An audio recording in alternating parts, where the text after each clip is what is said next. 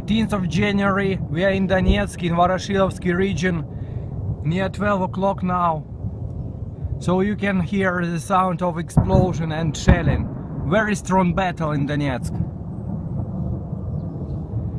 It is, now we are in the city center, right in the heart of the city,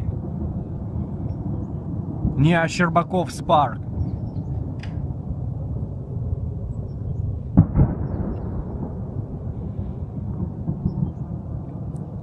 So you can hear the, the sound.